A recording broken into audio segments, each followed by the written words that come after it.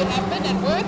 Tasman has, well, she hasn't got the line for the entrance into the engine while Sheldon does. He will take the race lead from her, but it is side by side with Hodges right there behind him. Daniel Rowe in the mix there as well, and so is Shorter. But behind them, that is Chris Shorter in the hollow car and Lyle Ramsey in the front row colour. Sheldon van der Linde that moves to the right. Matthew Hodges, championship-wise, cannot let him get away. He has to finish in front of him or right behind him to keep this championship alive. We've got 79 points on the board that can be taken for today. And at the end of the season, it's, you know, we've had this championship been won by one point before. It's not impossible. So, as they go down to go to the first of, first time into Cape Town corner where we know anything and everything goes happen, brakes for. Sheldon a little late, but Tasman got up the inside. No, she does not quite able to carry it through. And Sheldon retains his lead with Tasman behind him. Then it is Matthew followed by, Daniel Rowe, and then Mr. Shorter, if I am correct, from this side. And, yep, that is how coming through. So that's the top five, followed by Lyle Ramsey. Behind Ramsey is Matt Shorter and Bradley Liebenberg. Got the first first lap without incident. I think that's magnificent stuff as they work their way up the Joubert Straight. Probably uh, the first time this year that they get that one right. Well, I tell you what, it's all about Sheldon van der Linde, but so, so under control with that Toronto car. Down to the kick they go. Now, Tasman got the uh, outside wheels on the outside of the curbstone coming out of the exit of turn four, the uh, double right-hander going out into the back main, and that's proof of exactly how hard she's pushing that car. The interesting thing to see is that the leading Masters uh, entry, Matthew Hodges, in third place, who is an ex-champion in his own right in this class as well, Double, is actually, double. or even double. What a fantastic, uh, uh, what shall we say, some information to put onto your resume. He is actually battling to hold on to Tasman. Tasman's actually pushing Sheldon at this stage of the fight. Sheldon forced to take the inside line down into Cape Town corner, and that brings Matthew just a little closer. Well, don't rule out Daniel Rowe or Chris Short in the hollow car. So we've got the signature motorsport, the roto car of Sheldon van der Linde, the PG glass colours of Tasman Pepper. She is the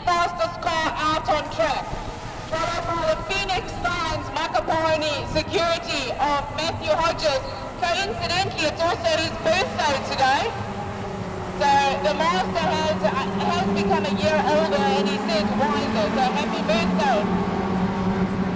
The confirmation of that uh, Tasman is the fastest out there, a 127.65, so 11 hundredths of a second is Tasman onto the back of uh, Sheldon. That front group of five, Matthew Rogers, Daniel Rowe, Chris Shorter, I think the five of them is going to break away as you see there from the rest of the pack. Lyle Ramsey has moved up uh, one position from his original starting position, but Bradley, Matt Shorter, Trevor Brand and Adrian Wood in that next group of cars, and there's nothing in it as they go uh, two abreast through the row sweep uh, up along the KFM straight. I will tell you that go back to Sean Reservoir, and I know it's not about him today, it's about the championship, but that 2016 concept car is already moved into 14th place, and we're on the second lap of this race, and he's slowly but surely moving his way and catching up to the field.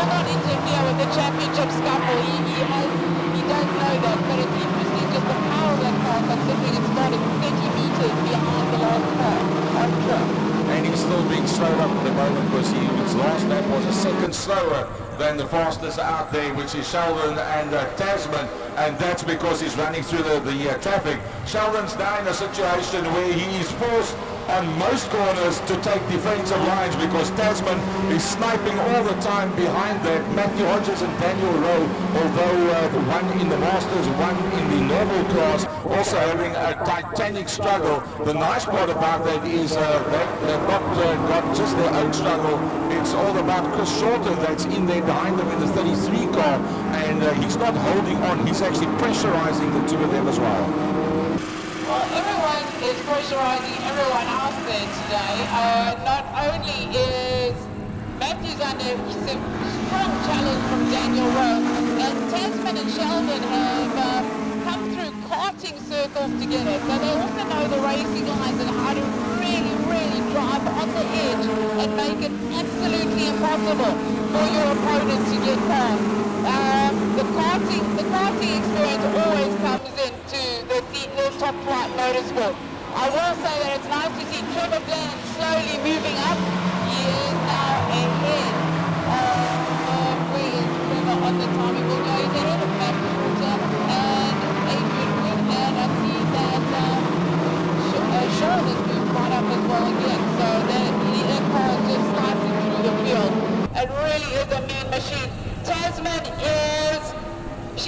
frustrated behind the wheel because she just cannot find a way through Sheldon.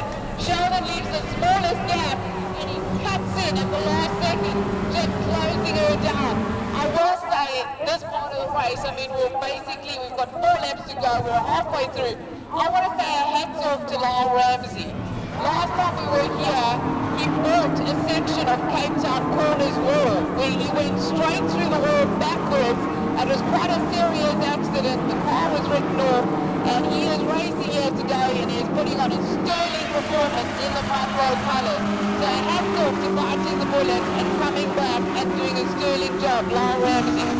Well, the only good news for Lyle on the day was that he saved the radiator and the headlights, but the rest of it was totally trashed. Out in the back lane they go now. I tell you what, it's getting quicker and quicker. Lap for lap, they're chopping away little bits and pieces, little fractions of a second. It's still that massive struggle uh, for uh, Matthew and Daniel.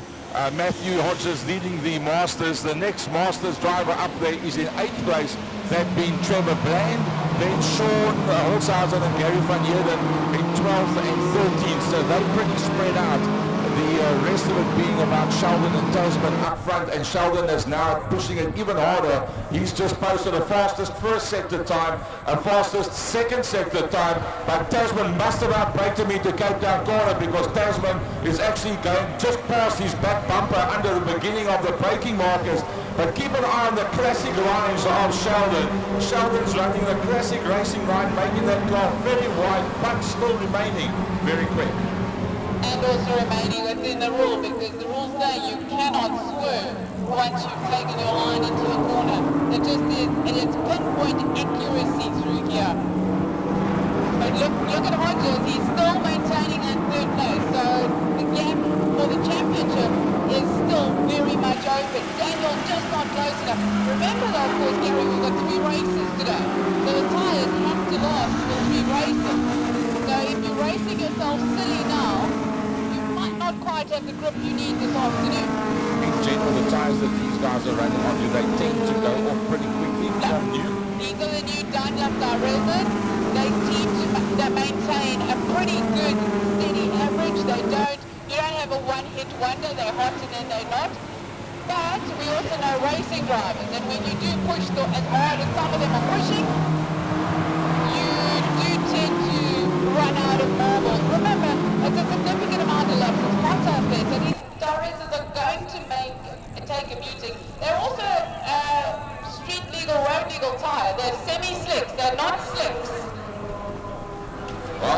Uh, semi-slicks are working very, very hard. Sheldon van der Linde once again posting a fastest time of 127.7. Tasman a 127.6. So that is one hundredths of a second difference between them. Sean the Reserve, wow, really moving up now, posting as you expected. The fastest lap time of 127.41 from the back of the group right up to 10th position. We, we expected nothing like that, but we made him start so far back. Folks, if you're interested in Polo Cup for next year, come down to the pit, ask for Sean Reserve, and uh, you, you can have a look at that car. It really is a fantastic piece of machinery.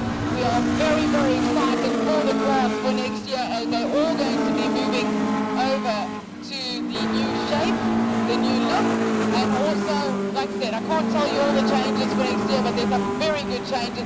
Closing stages of this lap. Remember, they start race two where they finish. So at the moment, for race two, the person starting in pole position will be Bradley Liebenberg. they do not change their position in the last lap. As they cross the finish line, there'll be one lap left in this race. So if they if they finish the way they are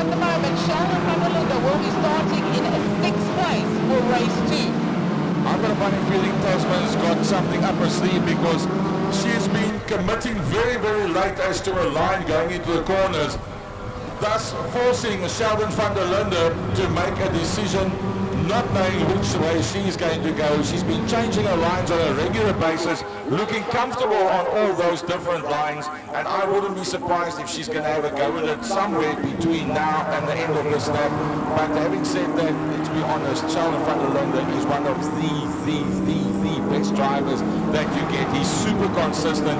He will not get rattled, and as we said earlier on, he's looking at the championship overall. Should she be able to stick a bumper in and it gets very tight? I personally think that Sheldon is old enough and mature enough racing-wise to rather give a PG Glass car head and let it go and hit the title, getting the title wrapped up for the season. Sorry. I know you don't agree with that. well, I think Sheldon has gone far enough. I'm not thinking of taking a thing away from Sheldon. All due respect, the boy is talented. But at the end of the day, you can't tell a racing driver you should come second. It just doesn't work. Well, the championship is up for grabs, 25 points as opposed to 21 between first and second. Last time they're coming through the corner, one more lap to go. The checker flag is out. It's going There's going a to... change in position. There's a change in position for third place. Daniel Rowe and Matthew Hodges side by side to the flag. And it's going to be Sheldon Linde taking race one by a bumper. And on the line, Daniel Rowe from Matthew Hodges with Chris Shorter. Bradley Liebenberg and Sean Lareserve from the back of the field. Now, as far as I know, the for today, Gary van Heerden out, and so is Sean Althousand. We've got no finishers there. I think they're going to take uh, Sean Lareserve out of that, so Matt Shorter will move up into sixth, and as far as I know, he will be starting, sorry, my bad, Bradley Liebenberg will be starting on pole position. Bradley Liebenberg will be starting on pole position for race two.